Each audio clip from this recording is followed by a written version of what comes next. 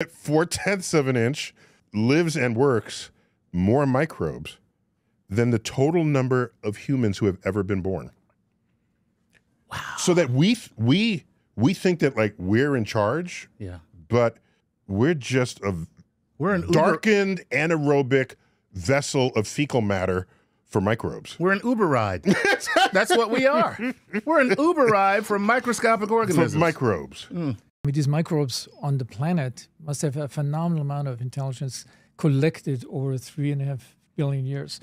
But they couldn't do long division, so Yeah, they, but, but, but, but I mean, they don't have a mind, and obviously they can do, they, they can live in homeostasis with each other and with the world.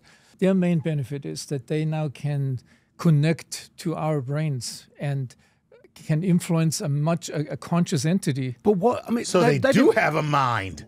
So if we've got the original gut microbes, the OGs, as we now like to refer to them, three and a half billion years, they've invented their own language. They've got they've had to have an own, their own alphabet of sorts. So how are they communicating with us from their little hidey hole in the gut?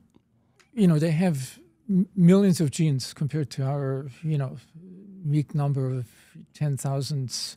In these genes is stored all this information, how to build these molecules, how to how to use them. So their language is basically stored in, in, in, in in their genome. So their own history of three and Yeah, half mi- yeah. Heavens. And um, Yeah, say I it. know. I was I was about to swear before you, I got to the B. Bi- billions and billions. Okay. So then, when they settled, the first microbes settled in these floating tubes uh, of, of the first, you know, marine animals.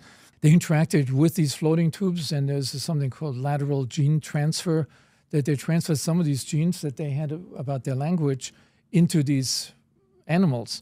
And you know, fast forward, there was the first version of the so-called the little brain of the gut, or the enteric nervous system, and then with animals developing heads, becoming polar organisms, some of that same information about language was transferred to the brain. What is a polar organism?